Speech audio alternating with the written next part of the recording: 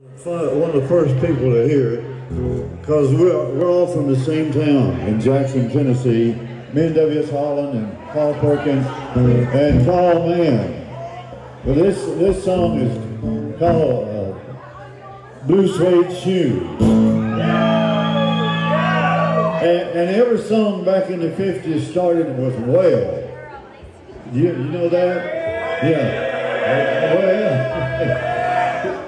so if you couldn't spell well, you couldn't write a song. All right, here, you, you ready, WS? We're to do it the wrong, we're to do it the wrong way like you guys did. Well, it's a one for the money, two for the show, three to get ready now. You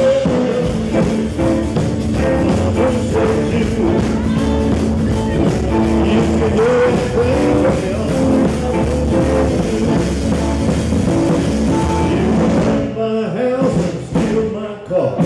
Reading my lips from an old fruit jar. Do anything y'all want to do.